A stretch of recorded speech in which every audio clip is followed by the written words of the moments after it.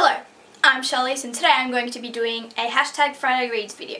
I've actually only ever done one hashtag Friday Reads video and the reason for that is I usually don't like, because I don't like just showing one book, I like doing them when I'm about to finish a book so I can show two books at least. but I have three books to show you for today. If you don't know what hashtag Friday Reads is, it is, it was originally a Twitter hashtag but it was brought over to YouTube by Bunny Cates. So basically, I'm just going to tell you guys what I'm going to be reading over the weekend, and it is Friday here in Australia. I don't even know, I don't think it's Friday yet in America, but I don't care.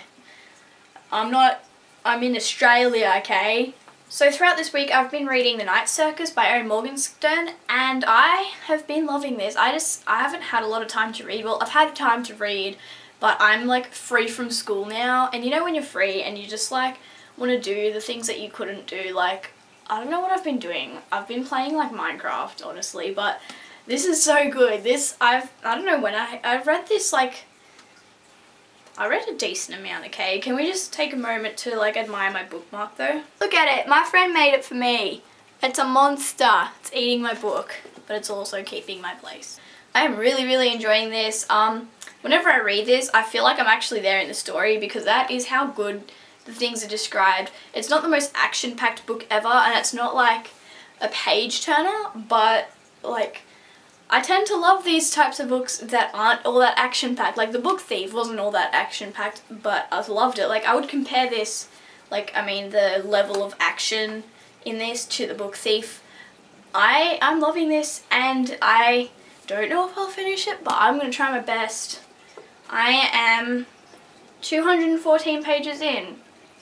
So, like, I should be able to finish it. There's about 500 pages.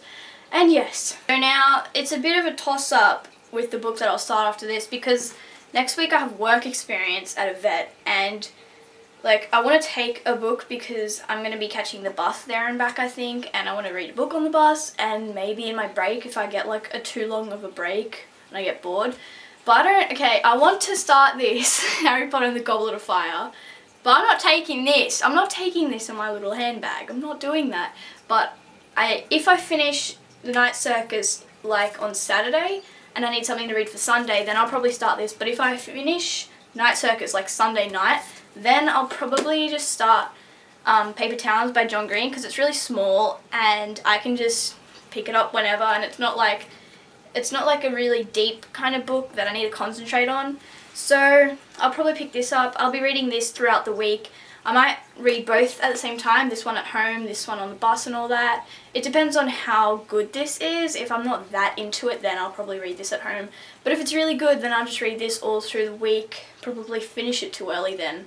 And then I'll be like, what do I read now? So those are the books that I'm going to be reading through the weekend and throughout the whole week basically the whole week. I'm not going to be reading anything else unless I do finish Paper Towns, in which case I'm probably going to just pick up Anna Dressed in Blood by Kendare Blake. It's down there, you can't see it, but I probably won't finish it. I'm going to try not to finish it because, I don't know, I kind of want to read more of Harry Potter before I start anything else. But yes, that is all I have for this video. I hope you enjoyed it. Comment down below with what books you're going to be reading this weekend, and I will see you in my next video. Goodbye!